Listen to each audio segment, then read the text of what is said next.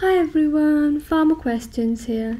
Let's take a look at the drug salbutamol. Salbutamol is used to treat the symptoms of asthma and or any other conditions with reversible airflow obstruction. Salbutamol is a beta-2 adrenergic receptor agonist, meaning it binds to beta-2 receptors to produce an effect. Beta-2 receptor agonist drugs can either be long-acting or short-acting. Salbutamol is short-acting, meaning it provides an immediate relief and works for about 3 to 5 hours. One of the most important side effects to note with salbutamol therapy is that it has the potential to cause hypokalemia. Therefore, particular caution is required when using salbutamol in asthma or COPD as a hypokalemia side effect can be exacerbated by concomitant treatment with other drugs that can also cause hyperkalemia. Other side effects include muscle cramps, oral throat irritation and rarely akathisia. If you enjoyed this video don't forget to leave a like.